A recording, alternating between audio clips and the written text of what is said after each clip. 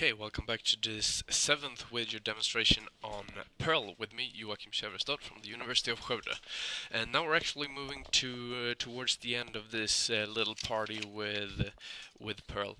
And what we're gonna do now for the next uh, two video demonstrations is working with regular expressions. Um, and then we're going to end this uh, demo demo tour with a with a sample script where we're going to do a script where we add users and I'm going to tell you uh, my considerations and how I think when I design it and we're going to uh, dump in some neat tricks. Uh, but beginning now with regular expressions, uh, I just want to begin with showing you a very nice website that is called Rubular that you can use to uh, build regular expression. Uh, so if we Google Rubular and hope that we have internet connection, maybe we should do it another way. So, uh, like so, did we get that? Yes. So this is Rubular, which is uh, a regular expressions editor designed for uh, designed for Ruby, which is another programming script programming language, but it works nice for uh, for Perl as well. So beginning with understanding what a regular expression is, it's basically about pattern matching. So what you want to find is patterns in uh, an amount of text. So basically, let's say that we have a, uh, a text here. Uh, Hi, my name is Joachim, and it's misspelled a little bit, but it doesn't matter. And so this is a text that we have. Maybe it's uh, it's contained in a variable. Maybe it's a part of an array. Uh, I don't know. And then we can type a regular expression to match uh, to either see if this if if something is part of this text or or to do things to it. So a very simple way to do a regular expression is to basically type in a word. I want to see if there is a word in my text test string. In this case, I'm looking for my, and you can see here in the, uh, in the results pane that it matches with my. Um, so there is basically three things that we need to know about. First, we have a regular expression, and the regular expression is basically a pattern that we're searching for. Uh, and then we have our test string, uh, which is where we're looking for the pattern, and then we will have the results. So those are the aspects that we need to know about. So there is, of course, different ways to do this matching. Uh, I can match by text, as I just did. I can also decide that I want to match for uh, an occurrence of a a letter, for instance. And there are two different ways to do this. As you can see in the quick reference down here, uh, I can, for instance, do a backslash W, and that means that I'm looking for a word or a a letter, any word character. It would be a letter, number, underscore, whatever. So if I add a couple of letters here, you will see that they are also matches. Uh, I can look for. I can also look for letters by putting, uh, for instance, A to Z within brackets. I, uh, then you see that I match letters. Actually, one thing that I can do is that when I'm looking for a single character, I can put brackets like this. So, and whatever I put inside the brackets is sort of what I'm looking for. So if I'm just going with A, I'm looking for A's. If I go A to Z, I'm looking for A to Z. Uh, I can also add 0 to 9. So now I'm looking for letters A to Z, and I'm looking for letters 0 to 9. However, I'm not looking for capital letters as you see now, so if I want to look for capital letters as well, I have to add capital A to capital C and capital Z. And then I'm looking for capital letters as well. Uh, I can also negate this, so if I go back to just looking for letters and put a little roof or whatever you want to call it in front of the expression here, then I'm looking for everything that is not a letter A to Z. Uh, I can also, of course, decide to just look for letters A to C, like so, uh, or not A to C, or A to C. Um, so this is the basics and there are all sorts of things that you can do. You can look for white space, digits, word, boundaries uh, and so on and so forth. You'll have to go through the uh, reference on your own. There is also one uh, a special one which is the dot which would be any character uh, and so on. So that's one part of it. The next next thing I want to show you is how you would uh, the what would you call it the operators. So you can say, uh, for instance, now we're looking for letters, and what we did was backslash W uh, to look for any uh, any word characters, and you can see that first A H is a match, I is a match, M is a match, Y is a match, N is a match, and so on and so forth. But we wouldn't want to build this with going a backslash W, backslash W, uh, and so on and so forth. Instead, we want to make something simpler. So there are operators that we can use. So for instance, if I want to look for just 0 or 1 of occurrence of W, then I can add a question mark, and that's what it will do. Uh, you see now in this case, there are no difference in the matching because it still matches on H, then matches on I, and so on and so forth.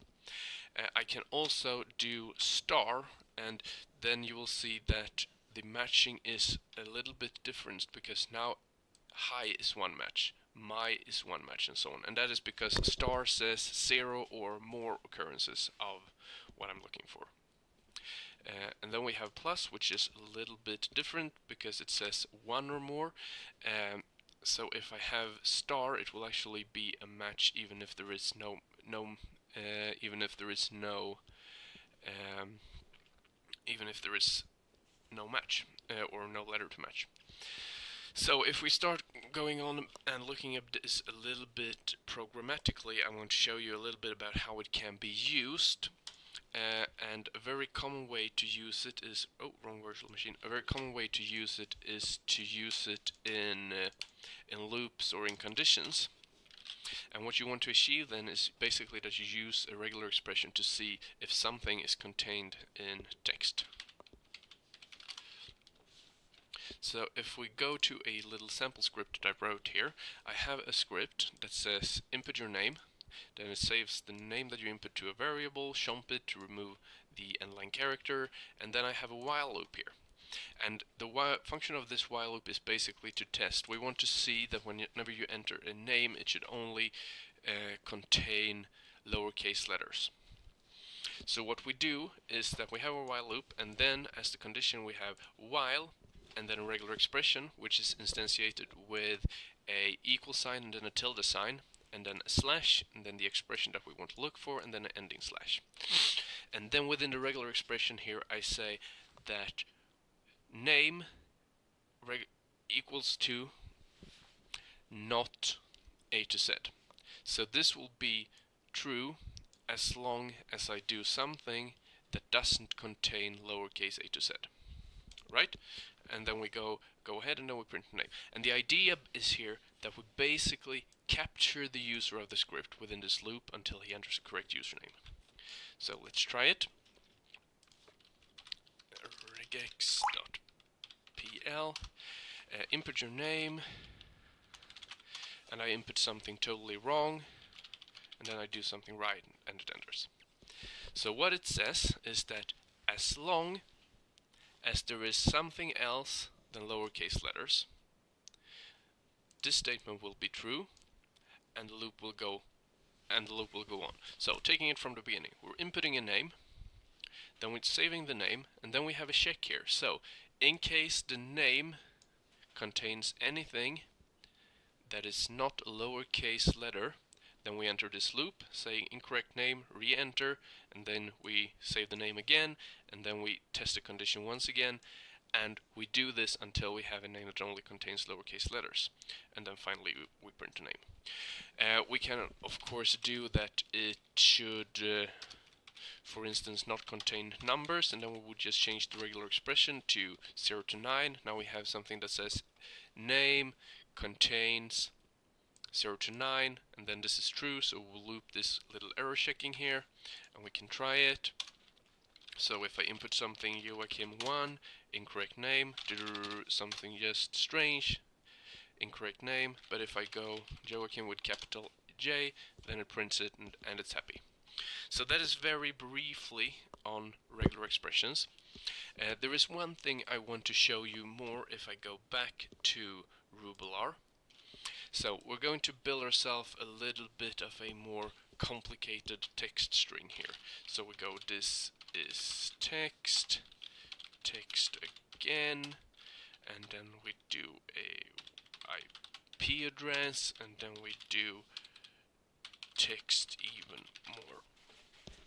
So, what we're going to begin with here is to search, basically, we do a regular expression that is text. And one thing I, uh, I want to show you here, now in the matching, it matches every occurrence. And, and what we can do then is if we put parentheses around this, then we will have what is called match groups.